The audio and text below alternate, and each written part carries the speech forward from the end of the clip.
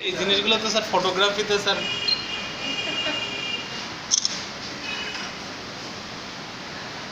ভাবছে কি ওটা মনে কিছু নড়াচড়া করছে আমার ছেলে মেয়েরা বুঝে না ও কি বুঝে না বুঝতে পারে আর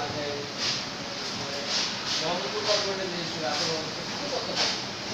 আপনার আপনার একটা স্টাফ লোন মানে কেউ সে সাইন করে যদি কেউ কাজ না করছে আমরা তো ধরেন এস্টিমেশন গোয়া আর সত্যি কথা যেটা কিন্তু সে দেখছে যে কাজ মানে জায়গায় কাজ যদি কারও কাজ না হয়ে থাকে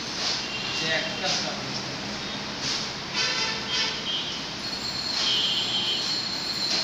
যদি ভালো থাকে থাকে, ভালো